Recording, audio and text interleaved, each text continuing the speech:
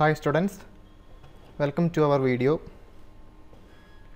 Today uh, we are going to discuss two topics uh, from this chapter. Here you can see the syllabus.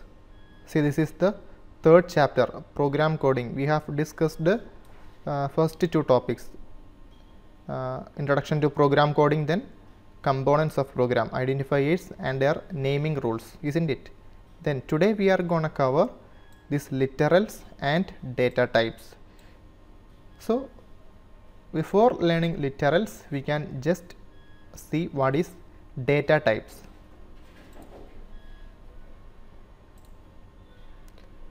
See before learning data types we can just see actually uh, we are learning java programming isn't it? We know that java is a language computer programming language using the programming language java we can write java programs. So which are the java programs we are going to write? Let's take an example. For adding two numbers let it be 10 and 15 we are going to add these two numbers using java program. So in max we can just write uh, 10 plus 5 the result will be 25 isn't it? So uh, we know that according to max uh, 10 plus 15 will be 25 then we can add another kind of numbers isn't it? In max 10.5 plus 15 point sorry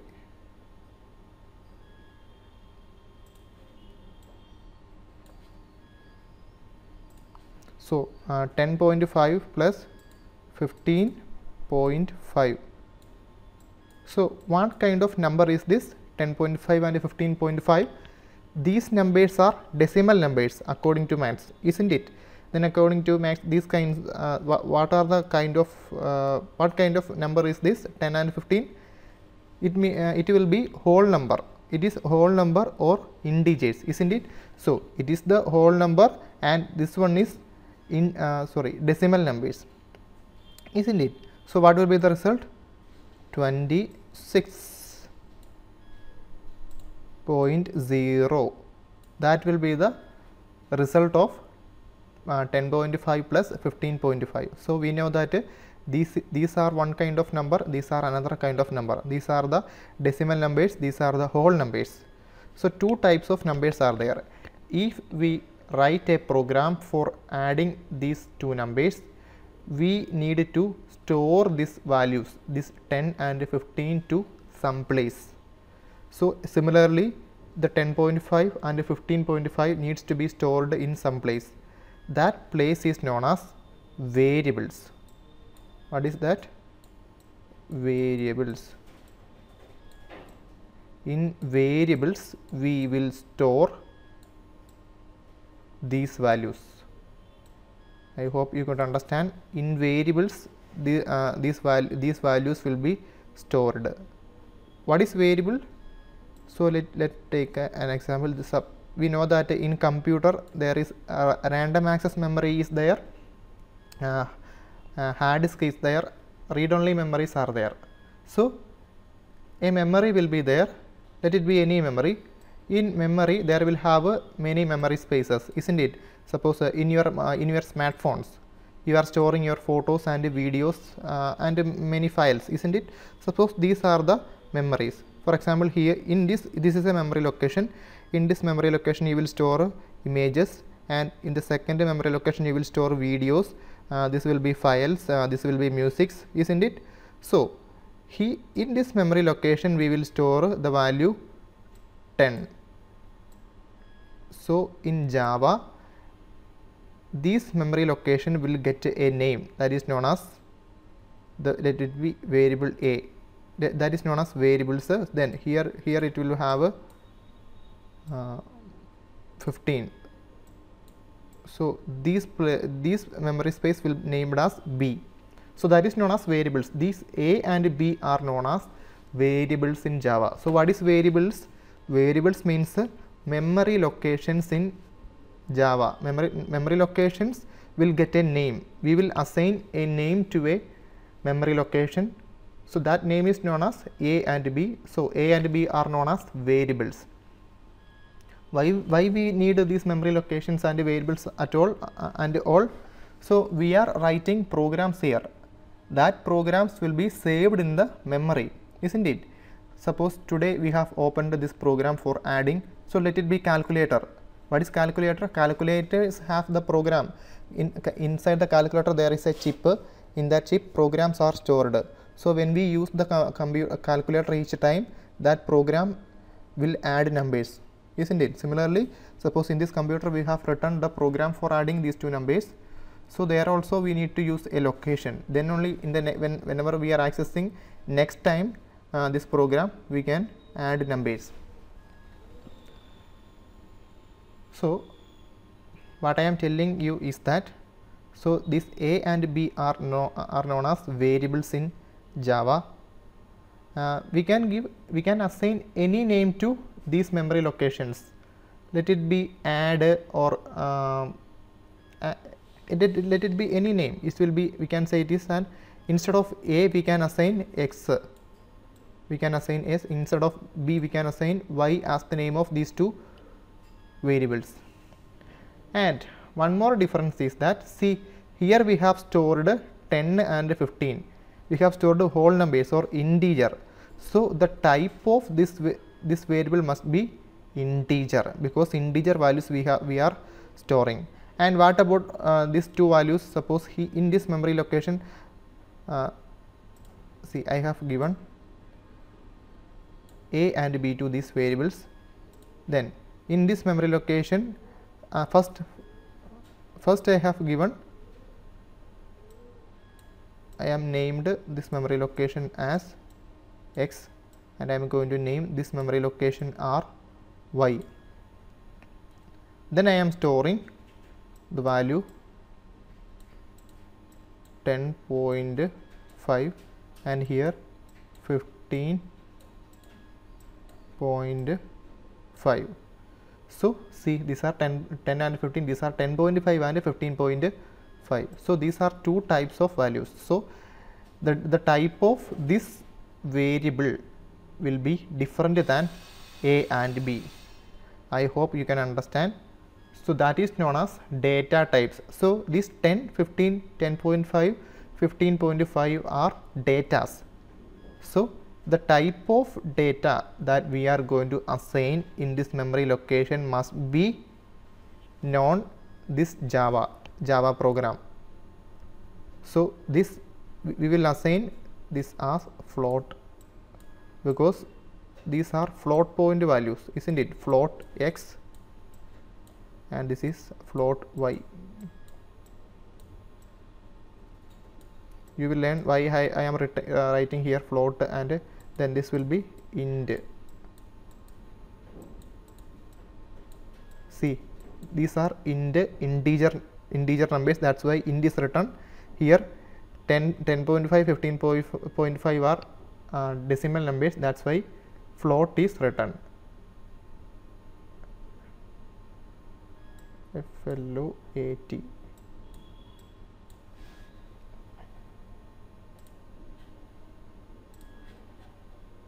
then we can see see data types. We are going to learn data types. See uh, a variable in java must be a specified data type. See we have learned what is variable just now. The name given to a memory location that is known as variables in java isn't it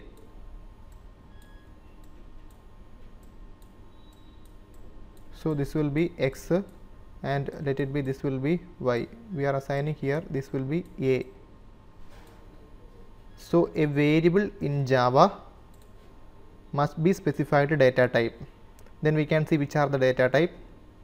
There are two types of data types.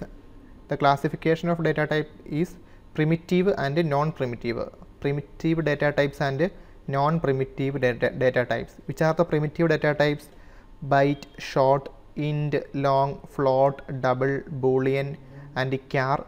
These are the primitive data types. And which are the non-primitive data types? String arrays classes.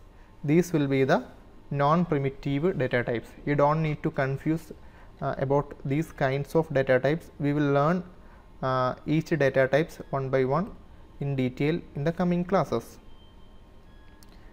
Here you can see a variable. What is variable? Minum. Minum is the variable. See here let it be uh, here we can we can assign minum. Minum is the variable name. So int see int is which kind of data type? Primitive data types. See int here it is written int int is a primitive data type. So this is the uh, syntax. What do you mean by syntax? It's a prototype. Syntax is known as the prototype. See here we are learning java language. uh, a machine a, a machine must be checked. See uh, for when we write a sentence there will be many rules isn't it? There will have uh, uh, the object subject and verb will be there. For writing these verb subject and object there is a rule is, is there is in english isn't it? We have to follow a rule. Similarly for writing data type then values and uh, variables names we have to follow a rule. That rule is known as syntax. Understood? That rules for writing statements in java is known as syntax. So data type then variable name equal to 5 then what will happen here when we write this uh, this step? The uh, first of all a memory location. Let, let let it be this memory location. This memory location also have name now.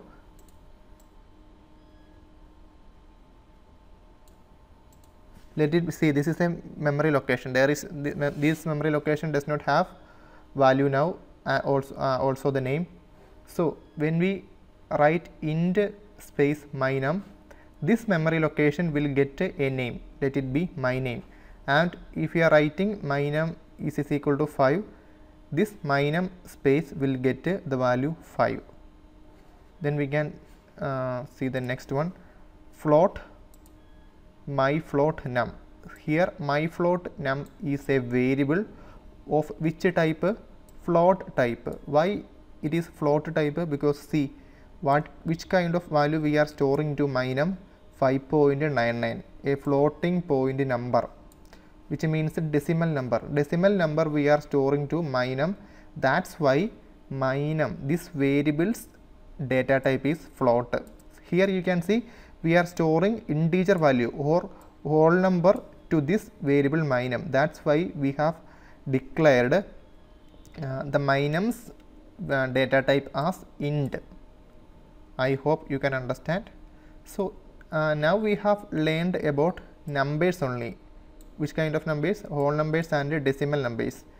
So in variables see this my letter is variable my bool is another variable my text is another variable. In these variables we, uh, in in java there will have variables. In variables we can store numbers like this 5 uh, 5.99 also we can store this character. See a is known as a character isn't it? Similarly we can store strings. String means a word will taken. A word will or sentences will take uh, will consider as strings in java programming. Hello will be strings. See why this is true? So this is uh, true and false. We know that uh, in exams we are uh, using uh, true and false isn't it in java we are calling true and false are boolean values. So here d is a character hello is a string. So for assigning or uh, for storing the value d to a variable the data type of that variable must be char. Then what about string? If we want to store string to a variable the data type of that variable must be string. Here you can see the letter d. That is a that is an example of character. That letter d is stored in a variable my letter. My letter is which uh, which type? Character type. So when we write this uh, statement char my letter this memory location any of this memory location will get the name my letter. I hope you can understand. So we have assigned this memory location as my letter now. Then when we store value d to my letter this location will have the value d. See let's take this example. String my text is equal to hello. See which is the variable here? My text is the variable and of which type? Of string type.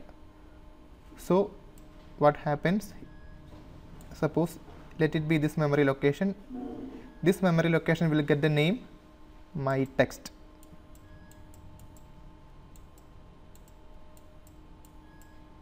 So we have assigned the name my test to this memory location. Then after executing this line equal to hello the string hello will be copied to this memory location. I hope you can understand. Is it clear for everyone? So which are the data type? Data types are two types primitive data types and non-primitive data types primitive data types are byte short int long float double boolean and char. You will be thinking what are the differences between these all data types? We can see one by one.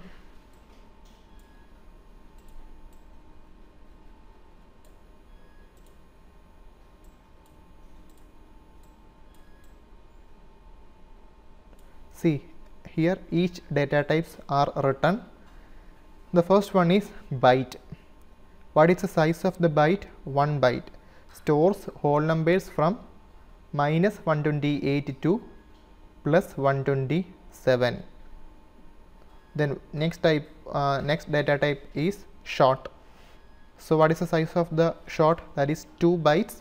And it can store values from minus 32,768 to 32,767 then in has a size long has a size. Then see here you can see this much values we can this is the range of values. From this value to this value we can store in long type variable. Understood the difference? I will clear it more. See this is the room and this is another room and this is another larger room. And this will be the largest room. And see let it uh, let it ta take us uh, r1 room 1 r2 r3 let it be r4 see you can see r1 is the smallest r4 is the largest room. Then in r1 we can uh, accommodate let it be 5 people. In r2 we can accommodate more than 5 let it be uh, from uh, 0 to 5 isn't it? And sorry 0 to 10 r1 can accommodate 5 people r2 can accommodate 10 people r3 can accommodate 30 people. R4 is the largest room. It can accommodate 100 uh, 100 people. Then what is the differences size is different and the number of people which uh, which can accommodate in each rooms are different. So these are the difference differences is, isn't it? So uh, we can see we can let take it as example of byte it will be short and it will be int and it will be long isn't it? And see what is the size what is the size of the byte data, data type? That is 1 byte uh, size of the short will be 2 byte we can see the difference. This room is small and this room is larger than the r1 like that these are the differences. See what about long? That will be 8 bytes. Understood the differences? Then what about float?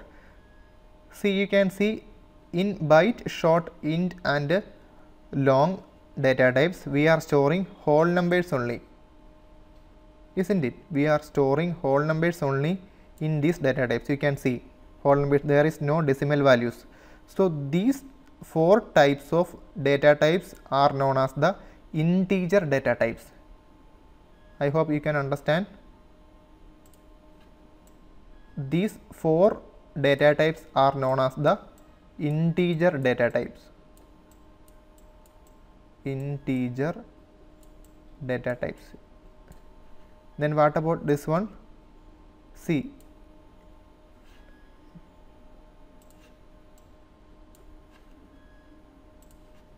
What about this one? Float and double.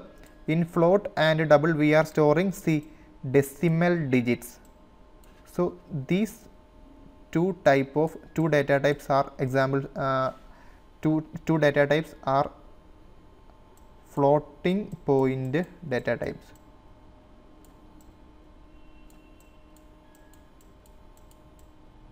floating point data types.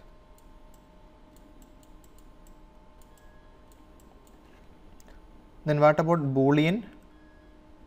Boolean data type c stores true or false values only.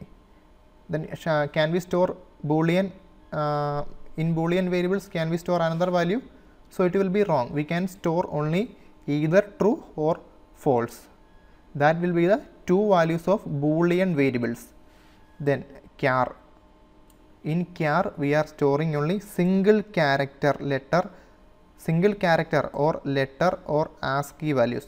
You will learn about ASCII values in details in the uh, next classes. So, for storing single letter or single character we are using char data type. Then what about string? Uh, we have learned string is the uh, another type of data type.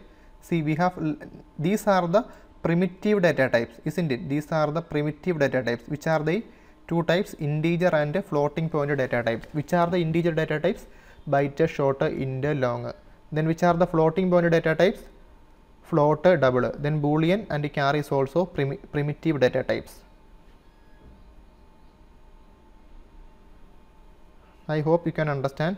See i will show you in BlueJ uh, we have learned about BlueJ in the last classes.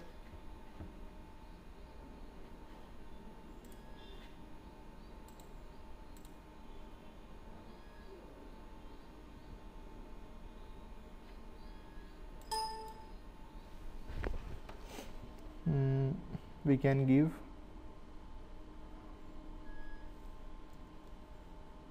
Data.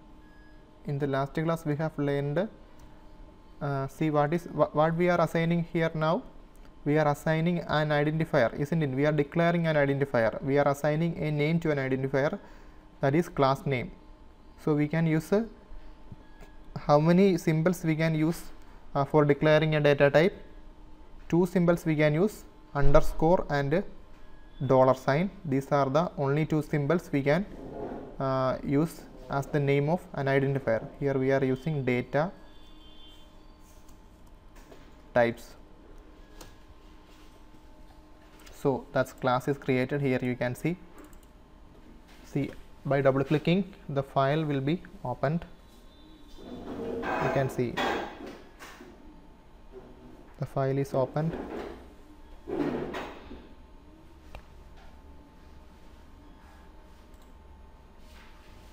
Uh, by default some programs will be there so we can remove these programs. We have to leave this class name and opening and closing braces. Here you can see uh, all the statements we are writing inside an opening braces and closing braces isn't it? So we can remove the whole statement except the class declaration statement and two braces. See public class data types. See this is an uh, identifier and this is also an identifier. Data types is also an identifier. In identifiers these class and public are known as keywords that you have learned in the last class. This class keyword will create a class data types. Whatever we are assigning or giving the name as an identifier. In that name a class will be created using the keyword class. And all the statements. Uh, we are writing inside an opening braces and a closing braces so a java program must need a main function. How can we declare a main function? Public class. Sorry public static void main. You don't need to confuse regarding all these keywords. You will learn each keywords one by one. Then string args so this is known as the main function this main function is compulsory for all java programs. Why it is compulsory? Because we know that uh, these are the programs. These programs must be checked by a logical machine. That logical machine is known as jvm see what is jvm for example when we write uh, a paragraph in english after writing the paragraph completely we will check whether there is uh, a, a gra- grammatical error is there or not isn't it? So we will check for the grammatical error. So ourselves we are checking for the grammatical error. Then what about computer program? A logical machine will be there. That logical machine will check for the syntax syntactical error. So that machine is known as jvm java virtual machine. So we have to uh, so that jvm will start the compilation and execution of java programs from main method. That's why we are writing main method. This main method is compulsory for all java program. So as uh, as we are using braces for the class the main method also needs the opening and closing braces. All the codes we are writing inside this opening and closing braces if you forgot to uh, close the braces it will show error message. So see here I am using a primitive data type int. The name of the variable will be let it take, a, uh, take as any variable so let it be a a is equal to which value we can store? Integer value or whole numbers we can store in integer type of variables. So we can store 10 then I am declaring another number sorry another variable. int base is equal to 20 so int a int 20 that will be two variables. Then I am declaring one more variable of float type. Float z is, equal to why I why I can't declare float a? Because float a, a the variable a is already declared. That's that's why I am declaring float c then I am assigning which kind of value I can assign to uh, the variable c? Decimal numbers or floating point number. Let it be 25.5 so I am ending it with it with a semicolon. Each line must be ended with a semicolon. So you may be asked why we are not adding semicolon here. We are not adding semicolon here for so for some lines it should be end with a semicolon. Then I am declaring one more float variable float float d is equal to uh, let it be 15.5 so here a button is there compile button. After clicking on the compile button the jvm what uh, what i have told you uh, just now that jvm will check for the syntax see errors found in class. We can check the errors here. You can see errors. Two errors are there. Incompatible type. Possible lossy conversion from double to float. Previous video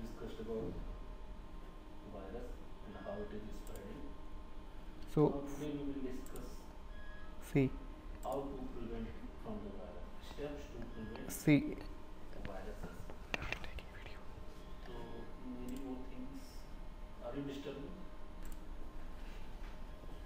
So why it shown the error?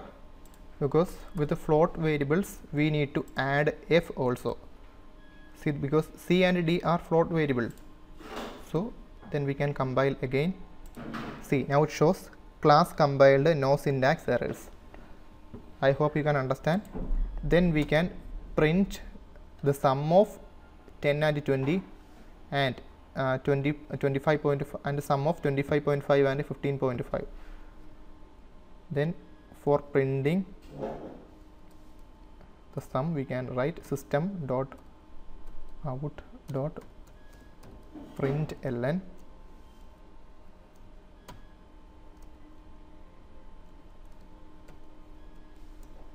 sum of a and b is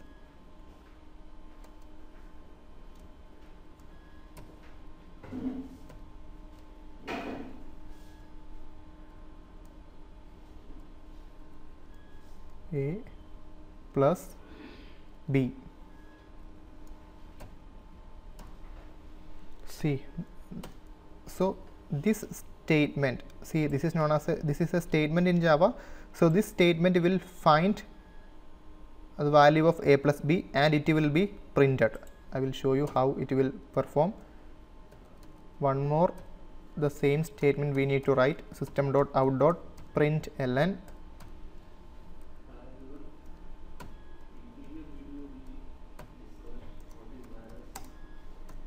Sum of c and d is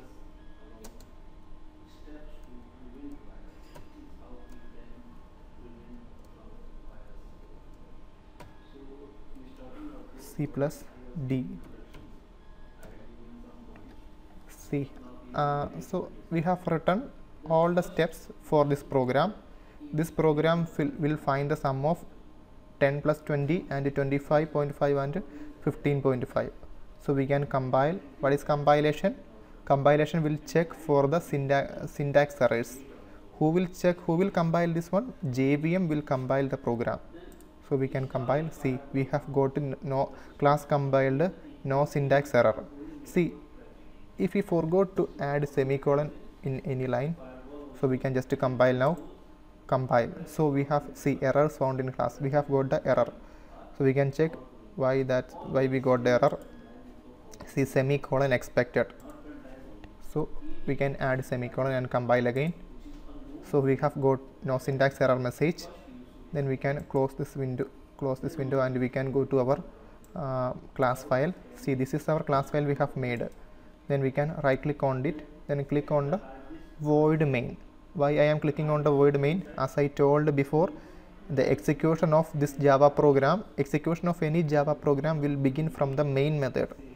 So after clicking on this void main the jvm will execute our program or our group of codes so we can click on the void main. So a method call so which method? We know that main is a method. So this method will be called uh, from the jvm that you will learn detail. So don't need to confuse. Then click ok. So here you can see another window is another window we have got. It is known as the terminal window. In this terminal window uh, we are seeing the seeing our output see here you can see sum of a and b is 30 sum of c and d is 41.0 i hope you could understand this one. Mm, if you have any doubt you can uh, you can either send a message in whatsapp or you can comment uh, or you can send message in campus care also. So today we are gonna wind up our video so next time we can learn uh, our see what we can learn. Declaration and initialization of variables we can see in the next video